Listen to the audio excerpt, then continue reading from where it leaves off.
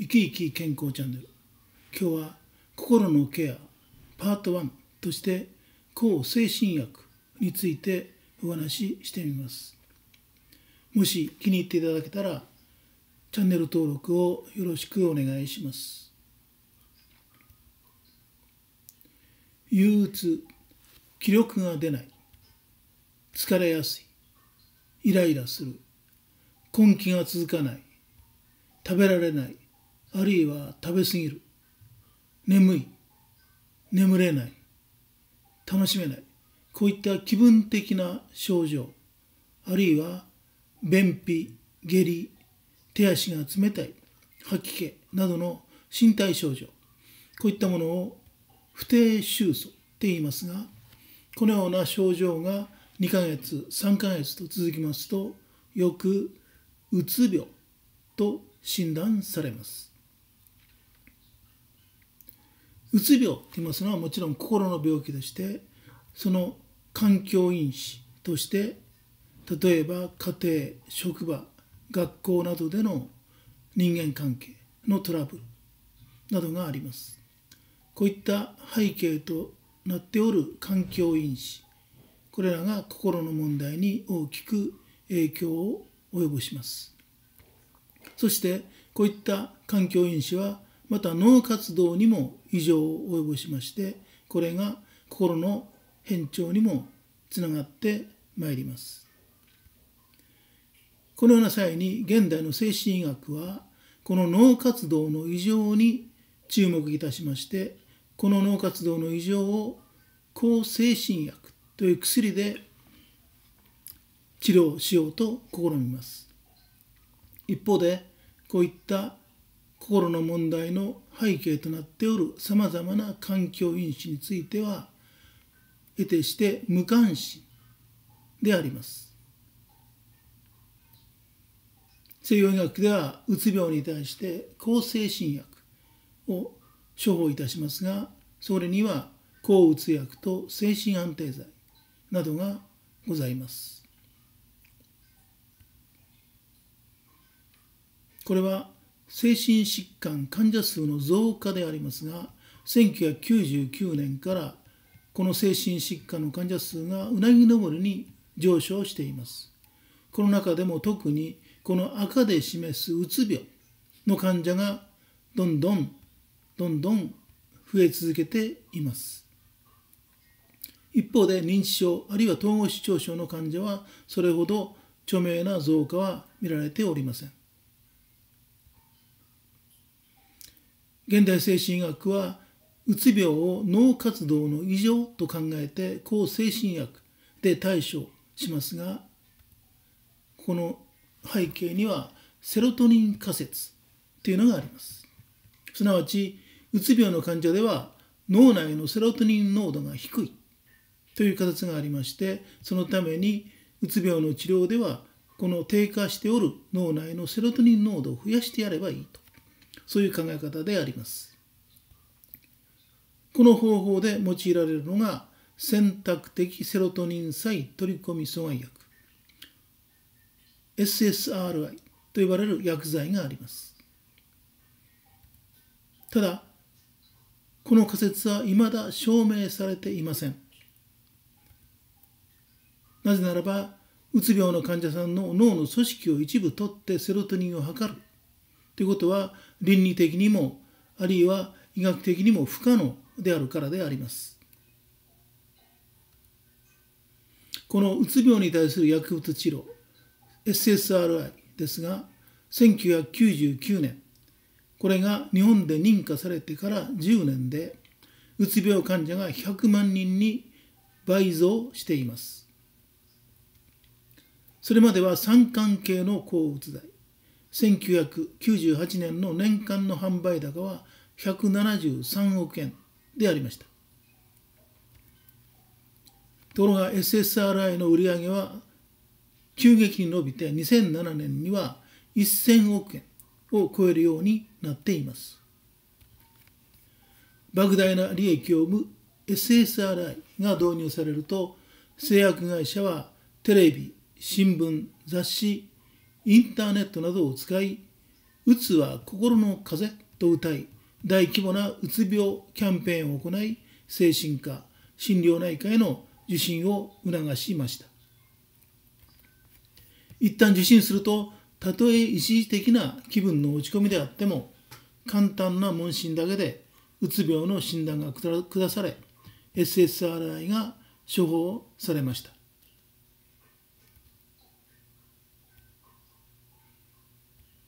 うつ病患者数は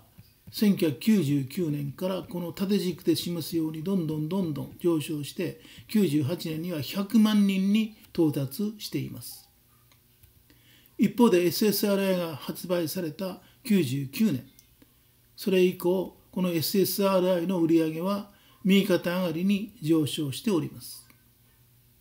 これが日本でうつ病が激増したからくりであります。SSRI が発売されてこれを処方せんがためにこれを恨んがためにうつ病という病名が付けられた。そしてうつ病患者が増加したということであります。さて SSRI の副作用その1ですがこれは脳を異常に興奮させる薬であります。その副作用は覚醒剤の場合とよく似ています。脳を危険なほどまでに興奮させる。自分が何でもできるという全能感。そして他人よりも優れているという優越感が出現出現してまいります。結果暴力行為や犯罪事件へと発展するケースもままございます。一方で覚醒剤 MDMA 俗名エクスタシーと言われる薬物がございます。よく芸能人が捕まっておるその覚醒剤なんですがこの薬理作用は脳内のセロトニンを過剰に放出放出させることにより人間の精神に多幸感をもたらすと言われています。すなわちセロトニンの再取り込みを阻害しセロトニンを増加させます。すなわち SSRI イコール覚醒剤と考えていただいて結構です。セロトニン再取り込み阻害剤。これが MDMA という名前になりますと覚醒剤。とされて警察の取り締まりの対象になります。一方で SSRI という名前になりますとこれはうつ病薬として医者が処方できます。残念ながらどちらの場合も犯罪や事件につながります。SSRI などの抗精神薬摂取後に発生した凶悪事件。このようにネットで調べますといっぱい出てまいります。ここでこの動画をご覧ください。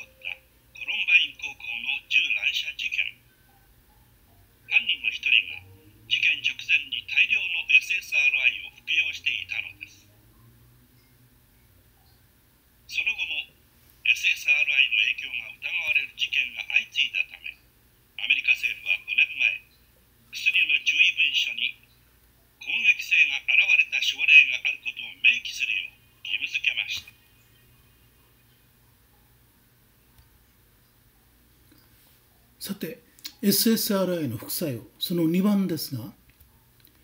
長期服用した場合ネガティブな感情が抑えられるだけではなく喜び愛情情熱快感などのポジティブな感情も低下し極端な場合には情動の欠如といった状態となります。すなわち幸福感や生きがいの低下がもたらせてまいります。うつ病に対する薬物治療米国の事情でありますが SSRI を服用してもうつは改善しないばかりかかえって症状を悪化させたり自殺や殺人事件を引き起こすなどの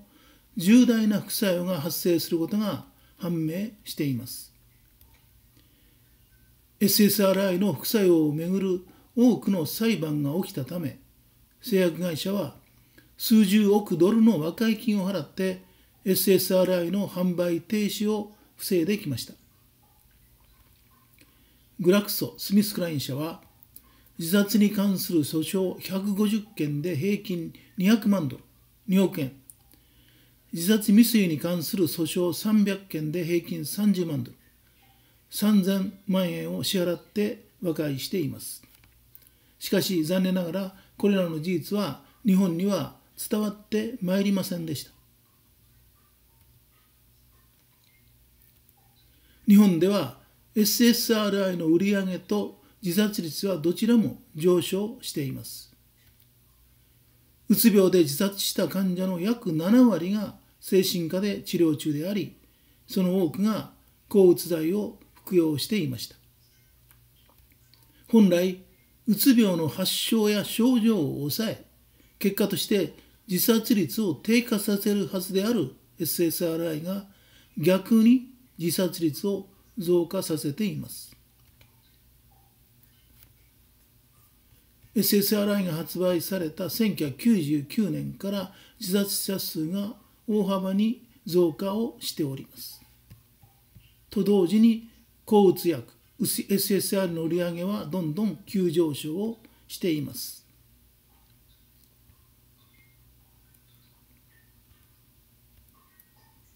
パキシルという有名な SSRI があるんですがこれがその効能書き効能書です。パキシル 10mg の副作用。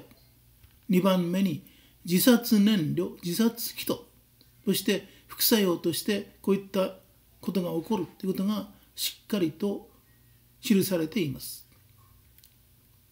毎日新聞の記事では治療薬自殺手助けなどという皮肉な記事も出ています。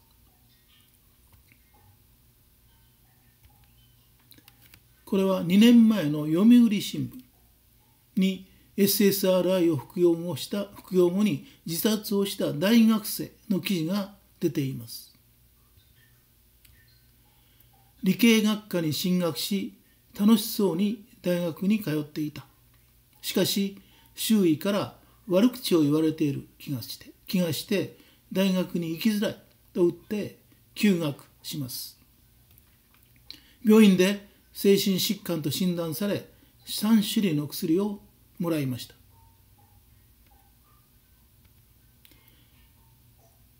抗精神薬の量は増え続け1年後には1日30錠になっていました。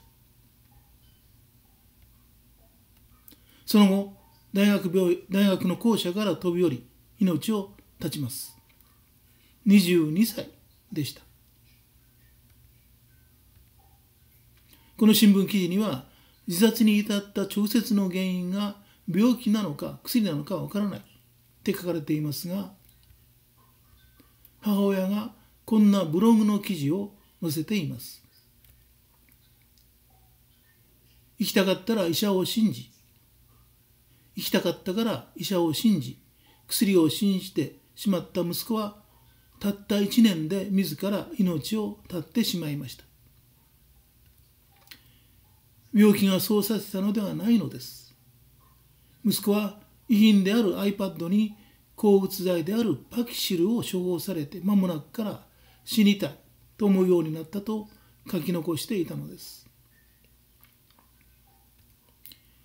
救ってくれるはずの医者が危険性も副作用も伝えないまま処方を続けたのです。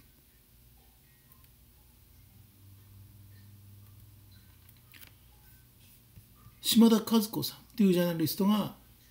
この青年のことをこんな記事にしてこんな本を出版されています。青年はなぜ死んだのか。この大学生が飲んでいた。これがこの薬のリストです。1日30錠抗精神薬としてエブリファイヒルナミンジプレキサインベガルナセンの5種類の薬が出ています。加えて抗うつ薬としてパキシルという SSRI と三関係抗うつ薬のアモキ酸が出ています。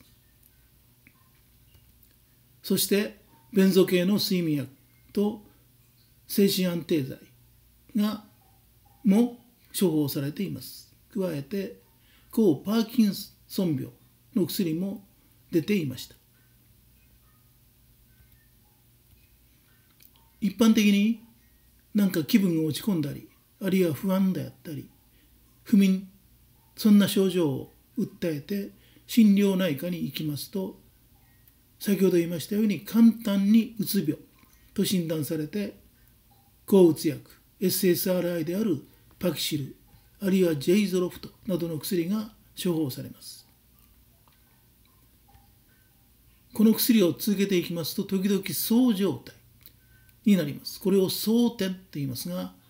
こういった時点では今度は躁うつ病双極性障害と診断されてまた新たな薬エビリファイなどの躁うつ病薬が処方されます。これを飲み続けますと今度はこのエビリファイの副作用として幻聴あるいは幻覚が出てまいります。こういったことをお医者さんに訴えますと統合失調症という病名が下されて今度は統合失調症薬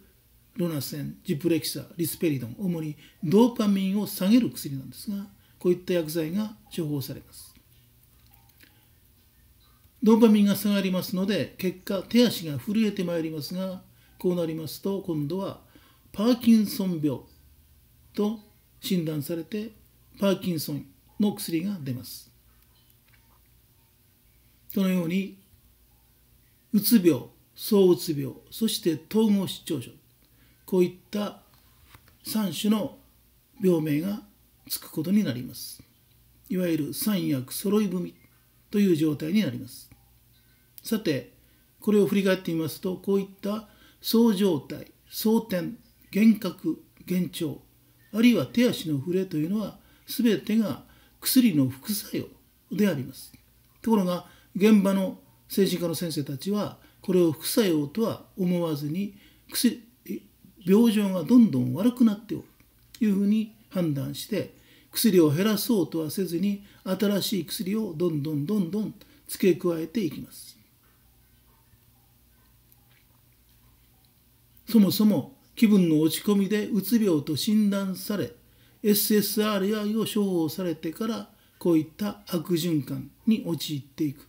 ということが考えられます。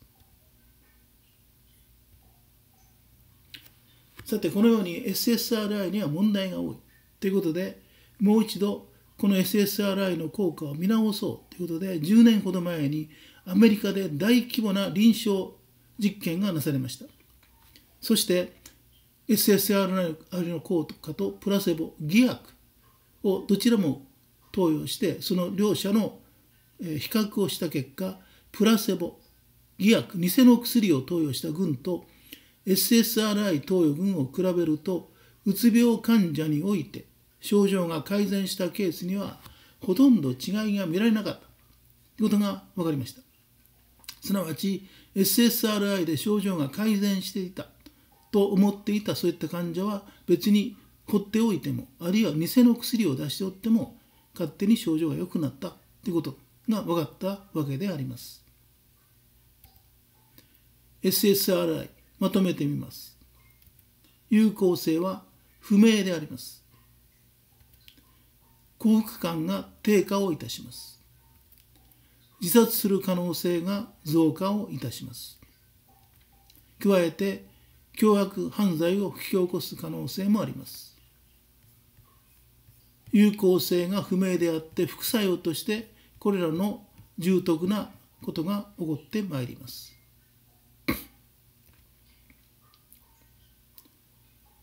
SSRI で代表的なパキシルという薬があります。この効能書きにはここに警告として赤い色でこう書いてあります。有効性が確認できなかった。自殺に関するリスクが増加した。したがって慎重に投与することと書いています。要するによく効くか効かないかわからないけれども自殺に関するリスクだけは増加する。ということです。通常であればこんな危険な薬は即刻処方禁止にすべきと私は考えますがこれができない理由があります。このことについては次回お話しします。さて先ほど申しましたようにうつ病の患者では脳内のセロトニン濃度が低い。というのはこれはあくまでも仮説でありましてこの仮説は未だ証明されておりません。そしてこの SSRI の効果が非常に乏しいということで実はセロトニンだけではないのではないか。そしていやいやセロうつ病ではセロトニンに加えてノルアドレナリンも低下しているのではないか。そういった仮説のもとに今度は SNRI すなわちセロトニンとノルアドレナリンを両方増やすような薬剤も開発されています。その代表的な薬の名前がミロナシプランであります。ところでうつ病の発症にはいろんな仮説がございます。今申しましたモノアミン仮説すなわちセロトニンノルアドリンの低下という仮説あるいは神経損傷仮説。過剰なストレス。あるいは病前性格説。病気になる前の性格。例えば几帳面で勤勉。責任感が強い。こういった人たちが真面目に仕事をしてその仕事を全部請け負ってしまってそれがストレスとなって体があるいは心が病んでくる。こういったことも考えられておりますが私はむしろこちらの方が十分まっとうな仮説ではないかというふうに考えます。はっきり申し上げます。モノアミン仮説。これは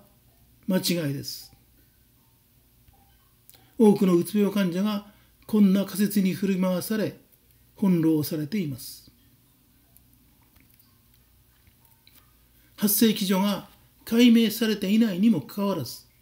脳内のセロトニンやノルアドレナリンの代謝異常があたかもうつ病の原因だとする乱暴な仮説のもとに抗うつ薬が処方されています。我々の高度な脳機能はセロトニンやノルアドレナリンのみならず100種類以上のさまざまな脳内の神経伝達物質あるいはホルモンなどがその精妙かつ絶妙な協調作用の中で調節維持されています。うつ病患者の脳内で進行しているかもしれない。何らかの異変をセロトニンやノルアドレナリンのみにその席を負わせるのはまさに精神学会及び製薬業界の傲慢と言わざるを得ません。